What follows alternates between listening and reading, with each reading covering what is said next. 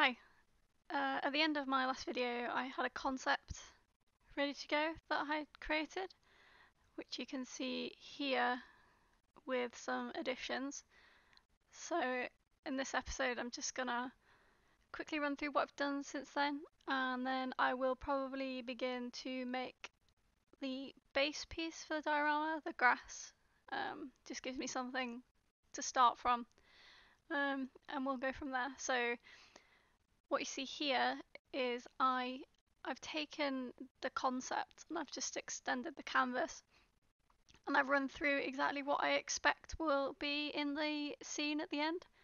Um, doesn't have to be exact, but it just gives me something to work with, um, and I can kind of schedule off of that. Um, so the list here is a lot smaller than it is for other projects that I've had because this project is supposed to be something smaller for me to do. So I took my Pinterest board uh, and was looking at the flowers and things like that on there. Um, so I was I, I've added a few things to my board since I last recorded, but uh, I was looking at poppies, peonies, and uh, dandelions as well. There's some other flowers on here which I might use, but for now, three will do and I'll add more if I feel the need. Uh, I found some reference for feathers because I'll need to do the bird obviously, um, and a reference for my vase. Uh, this is how I want to sort of do the material on it. It's sort of an embossed ceramic kind of thing. It's got some nice colour variation on it. Um, so that's what I have so far and I can just manage what I'm doing a bit more. Oh yeah, I added some white daisies in. We'll see how that goes, but it's always nice to have like white contrasting the bright colours. Um, and some grass and moss from the gravestone. So in terms of concepting, what I've done is I did this sort of design for the vase. Um, not exact, but I can I plan out the colours a little bit, um, the motifs that are going on there I want to kind of have some repeating elements, uh, otherwise it will look a little bit too noisy. So I've got these leaves and these vines going up the whole design. There's more leaves down here. Uh, so I guess the repeating motif is the leaves, and then different coloured flowers also repeating down the vase. Um, and I like how the white areas are contrasting the coloured areas and I've put these stripes across just because they sort of broke up the design of the vase a little bit. Uh, it might not work in the end, but I kind of like it. Uh, even though when I had it initially in my concept, it was just sort of something that was done out of laziness. I've actually kind of stuck with it and I kind of like it. So we'll see how that goes. Um, but yeah, you can see where the colours are going. Uh, so uh, when I make the final vase, what I will probably do is sculpt it in ZBrush um, or use sort of some hard surface modeling in Max and then bash it up in ZBrush. At this point, basically, I just begin to move into the 3D process. Anything that I need to test, I will make tests for, or I will just move straight into creating the final piece. And if something isn't working, I'll just reevaluate as I go and start again if I need to. I guess sort of testing as I go, like testing on the fly rather than making specific tests that I spend time on. So that's what I'll do next with the base of the diorama. So I'm going to open Photoshop, 3ds Max and Unreal Engine and then just make a start. Well, I've just spent half an hour recording and it turned out my microphone was off. And now my throat is sore. And I'm sad. But I'm going to record it again, so here we go. Man, I'm sad. Following on from what I did in my last video, um, you can see here that I'm just um, really quickly blocking out some colours for a texture that i am just going to throw into Unreal Engine. It's good to work from from big to small. You've probably heard this before. So I'm, I'm really just quickly throwing in um, materials and textures um, so I can just see what works and what doesn't with the lighting I'm creating. super fast unwraps, um, really quick, simple materials, just so I can see the bigger picture. So I'm sort of moving around objects in the scene, just trying to work out a bit more of composition. I know I already did a lot of this um, for my concept, but um, if something doesn't feel right, doesn't feel right. So I decided to uh, go again um, and just edit some bits. I can already see that the detail level on the vase is a bit small maybe for the scene. Next to the magpie it might actually be okay in the end, but definitely I want to avoid creating unnecessary noise. Um, and once I get other items into the scene, it either may work or not work. So we'll see what happens with that, but it's something that I'm bearing in mind. You can see that when I'm putting materials in, I'm using a power node connected to a 1.2 constant, um, and that just boosts the uh, power of the texture and keeps it nice and saturated and, and stops it becoming washed out by the light in the scene. You can see here that I'm falling foul of um, stupidly moving stuff around in Unreal Engine. So uh, stuff is coming out at really weird scales as I export back and forth between Unreal Engine and 3ds Max. Um, when I come actually to modelling properly, I always make sure that everything is at just a scale of one to one. I tend to set everything in my Max scene to have the same pivot, so I can edit everything in Max exactly how I want it, and then just import it into Unreal, and it'll match my Max scene uh, exactly. And I can just put everything to the same rotation and uh, pivot point. So this makes it easier for me to swap in textures later as well.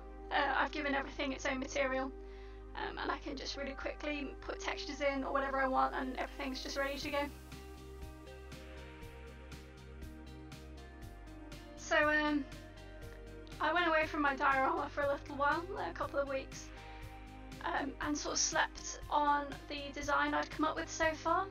Uh, and I wasn't 100% happy with the idea for the base with just grass. Um, so I decided that it would be good to have some like broken pieces of brick on the floor, sort of under the grass, to break up the green, have some areas of white. So here you can see that I'm just creating a block out for a sculpt because I just want to get straight on with sculpting. So I'm splitting up a basic rectangle into very regular segments. Uh, I'm applying a turbo smooth modifier by um, smoothing group and adding a couple of iterations of that and then adding a second turbo smooth modifier on top just to smooth those edges and give them a curve um, and it just gives me a nice consistent mesh for when I take it into the, uh, ZBrush to sculpt over. You want to have the, uh, the mesh density be as consistent as possible across the model. So I'm just moving around the pieces of uh, brick to where they might work. Uh, once I take them into Unreal Engine, it might be that they don't work out and I can move them around. They, they were fine in the end.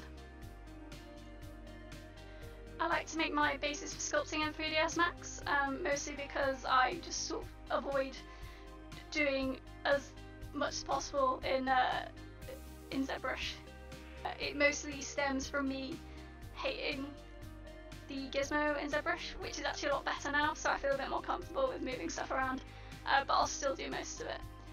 3ds Max just for the sake of comfort, and um, I'm a bit better at modelling and at a base level anyway in 3ds Max.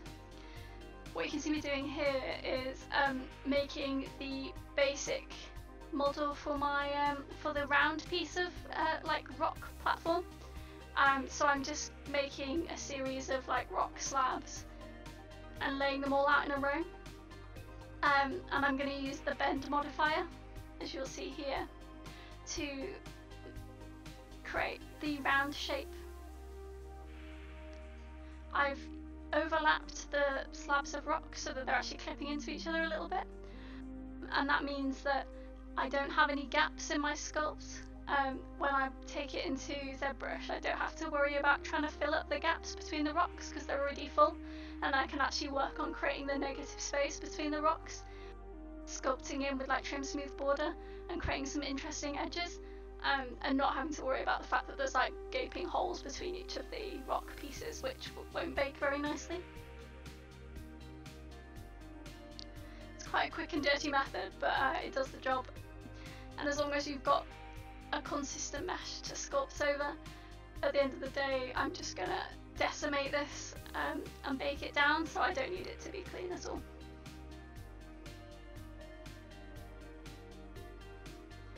I like to use FFD modifiers to um, edit the shapes of things. So you can see that I quickly reset Xform and then uh, use the FFD modifiers just to drag bits around to the shape that I want. Uh, it's a method that I use a lot for base meshes before sculpting.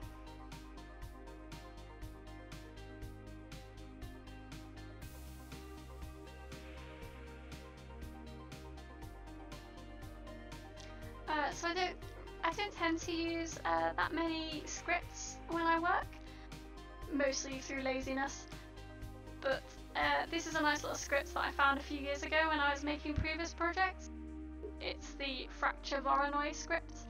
Um, it's really nice for breaking up pieces of geometry and it breaks it up in quite a nice natural way so that I get nice irregular pieces to work with.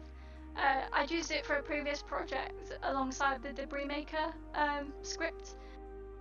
If I remember correctly, I used the Fracture Voronoi script to um, split the mesh into pieces um, and then use gravity and drop the pieces. Um, so it was for like a tiled floor. Um, so I could use that to create broken pieces for the edge of the tiled floor and then sculpt them just to give them a bit more sort of wear and tear natural kind of look. So you can see here this is the kind of uh, thing you get. You can select the number of parts that it breaks into and it just splits the mesh um, into irregular shaped pieces. However you can see that when you put the um, wireframe on that the subdivisions of the model don't extend to the broken faces so I decided actually that I should redo it uh, with a um, just standard box, six-sided box, and then turbo smooth that so that I've got consistent-ish iterations across the whole thing. So you can see me going again here. Uh, so this time it is just like really primitive shapes and I can just drag those around um, in as natural a way as possible as if bits of rock have broken away and just repeat that as often as I want. Every time you do it, you get like a different configuration of broken pieces. Uh, so I just drag those around and delete any pieces I don't want. And then I can just select them all um, and use the same method as I had before. So turbo smooth by uh, smoothing group a couple of times and then add a, another turbo smooth modifier over the top and uh, turbo smooth again so I get those softer edges as you can see, the um, mesh isn't super consistent and it's a little bit awkward to sculpt because uh, especially on the acute angles and the sharp edges, it will collapse a little bit on itself when you try and sculpt it. Um, you can sort of get around it, you just have to be a bit more careful. Um, but for the sake of someone lazy like me trying to get something done quick, it definitely does the job and I'm really happy with how it works out again with the FFD modifiers, just um, adding sort of a sloped edge to my um, my rock piece, um, and it, so it'll just sort of um, sculpt a bit nicer, and it'll be a bit nicer to look at. You won't have like sharp shadows where it's a 90 degree uh, angle.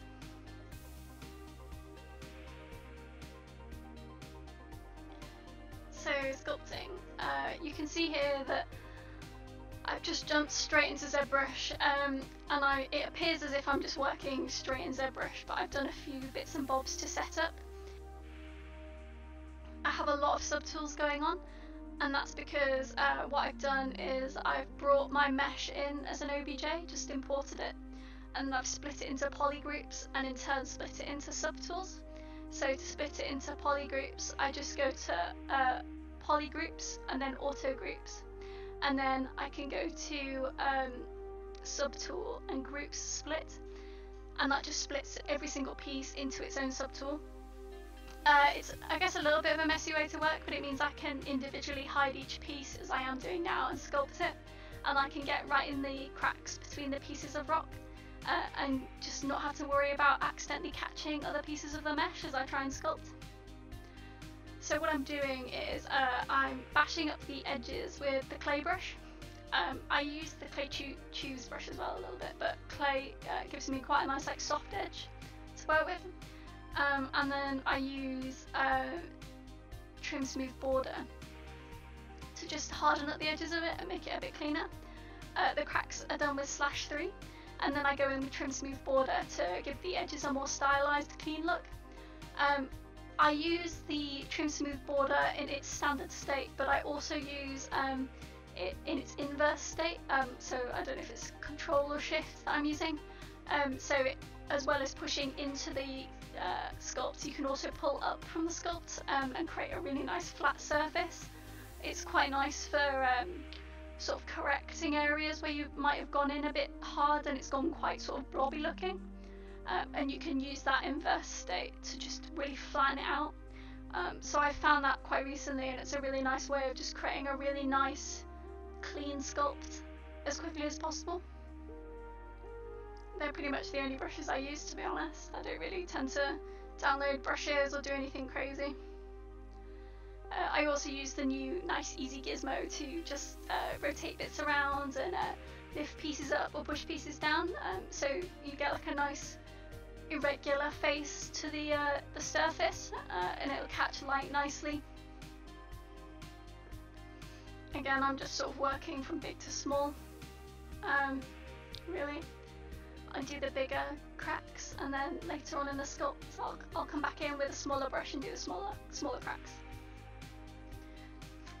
The main thing I guess to remember when doing uh, sculpts for hand painting over is just keep them as clean as possible. I used to add loads of sort of noise and wear and tear into my sculpts, but it just it will clash a bit with any hand painting you do. So you want to keep the sculpts really clean, uh, your cracks really clean, no like weird noise or anything, uh, and it just gives you a nice base to work with when you're hand painting. So this goes on for a while. Um, I'm just going to let it run so you can watch it if you want, or if not, I will put in a link for you to skip ahead uh, and see what I do next with blocking out some grass really quickly for my Unreal Engine scene.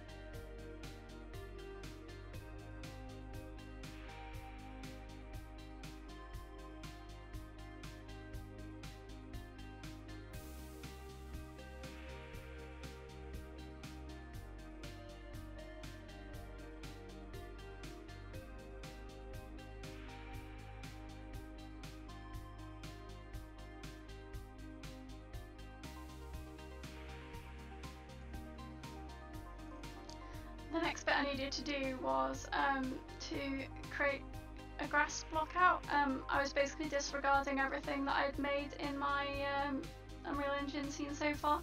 I wanted grass that perfectly matched what I had uh, with my stone piece that I've made in ZBrush so far. Um, so that meant um, just creating a really quick block art, um, not even like a sculpt that I could just do really quickly in ZBrush that would match what I'd done so far. Um, so I could make it uh, sort of overflow over the bricks or go under them or come up through the uh, cracks in the stone uh, however I wanted without having to sort of go back and forth between Unreal Engine or 3ds Max uh, to try and make it work. Um, so I thought I'd just do this really quickly. Um, and what it also does is fills in the holes between my uh, brick pieces where I might have accidentally just sort of cut into it a little bit too far um, and you would see all the way through the uh, high poly.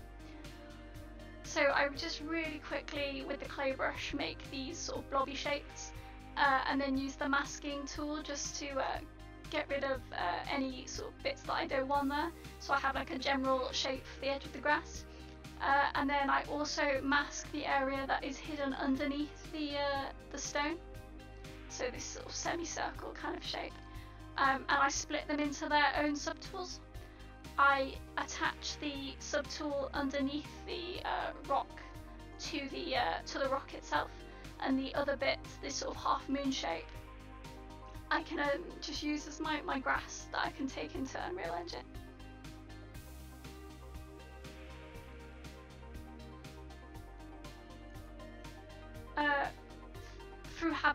Like retopping and 3D coat. Um, so here you can just see I'm really quickly doing a, a retop. It took me like an hour. Um, the only things I really had to bear in mind for this was just making the silhouette match a little bit uh, between the rocks. Um, it doesn't need to be any particularly fancy topology because it's not like it's going to move.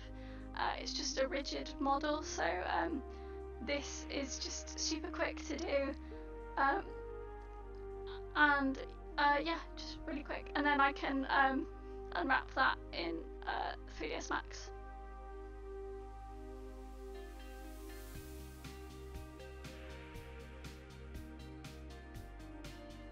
I would say to avoid using too many programs, but uh, I go against my own advice here because I, I'm God knows how many programs I've used at this point. Uh, but I like baking in Substance Painter because it's quite nice and quick uh, and it gives you uh, sort of a good uh, preview of what you've created as well.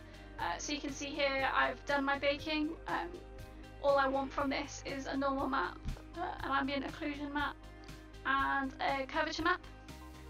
Um, and you can see how the light is catching quite nicely where I've rotated the pieces of rock and lifted and lowered bits uh, in ZBrush.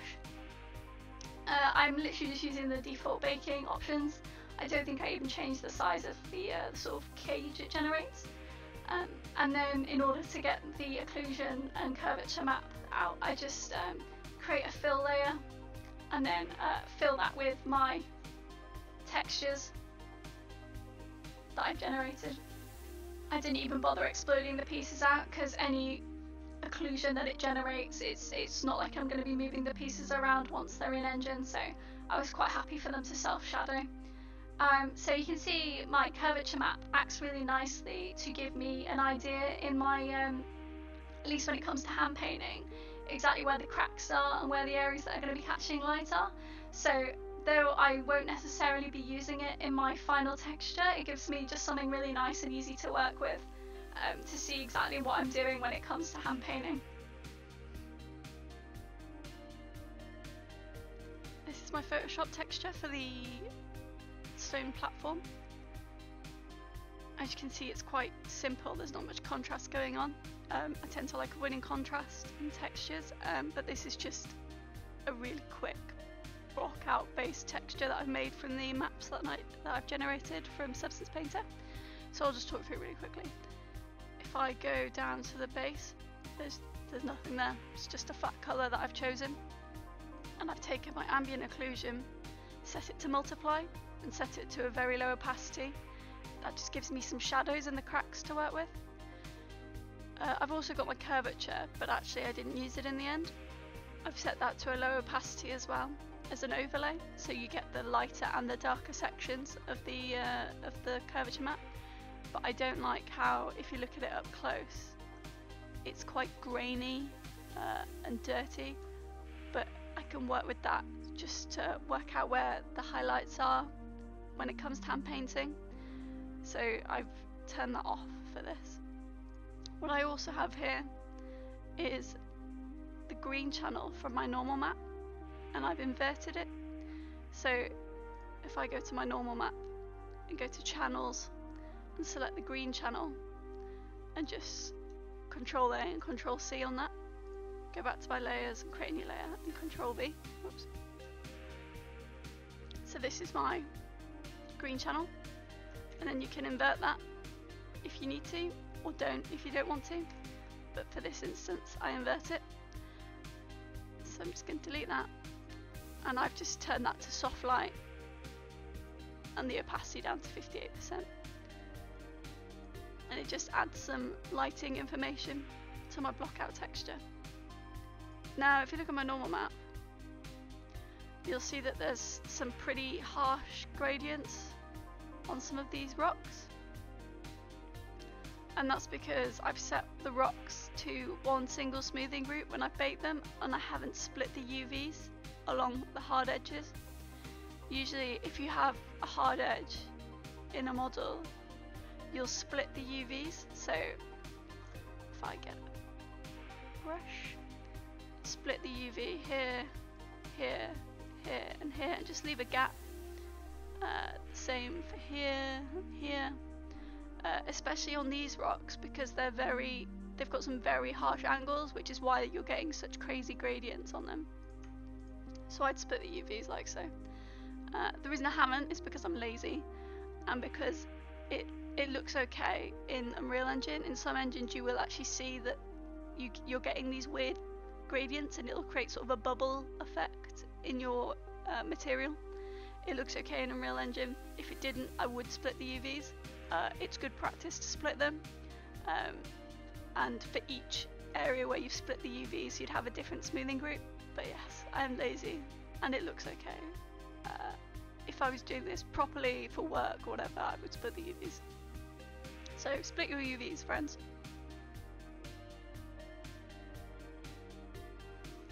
So finally, I can move my pieces uh, into Unreal Engine 4. Um, at this point, what I do is um, I just move between Unreal Engine 4 and 3ds Max. Uh, I have everything at the same pivot um, and all positioned relative to each other in my 3ds Max scene. Um, so I can just um, move bricks around if they're not peeking through the grass how I want them to. I can lift the bricks or push the bricks down. Um, I can lift this or push down the stone platform if I want it to be closer to the grass. Um, and just get it exactly how I want in Unreal Engine. So I'll be going in with like, blades of grass and maybe paint grass and uh, blades into the texture as well.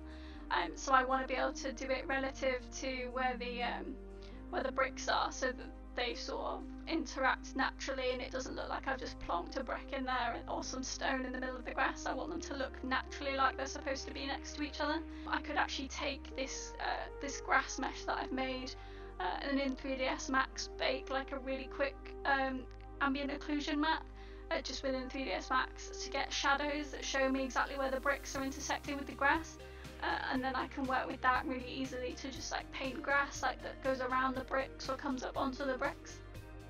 Um, so it's just quite a nice way of working, at least for me. Maybe maybe it's like some stupid convoluted way. So you can see here that this is my uh, bake. The texture that I made really quickly in Photoshop is a base, and my grass block out. I'm quite happy with how this has turned out so far. Um, I'm sure it'll look better once I've got some hand painting on it as well. But as I've said several times now, um, working like from the bigger picture to the smaller picture is a really good way to work. So at this point with the rock, I'm going to leave it for now. Uh, I've got the hard bit done, so now I can just go in and paint it. Uh, but what I'm going to do so I can work them up together is put in some grass. Um, so I'm going to have a go at that texture. I'm quite excited looking at this screenshot uh, about the colours of like the white of the rock and like the blue where the shadow is, contrasting with that really saturated green. um, and how the green goes when the shadow falls on it as well. So I'm hoping to play with that a little bit. Uh, and we'll get some grass blades in as well. Um, and we'll, we'll just see how it goes, but I'm not going to work anymore on the rock. Not until later anyway, and we'll work everything up together quite consistently. So in my next video I will make some grass and we will see where we go from there. I'm excited to see where the grass will go. I like making grass. But um, yeah, so I hope this video has been informative and interesting. Uh, I'm sorry about like the weird echoey thing going on. Something has gone weird with my microphone and I will endeavour to fix it for my next video. But yes, uh, thank you for watching. See you when I post my next video, probably sometime in the distant future.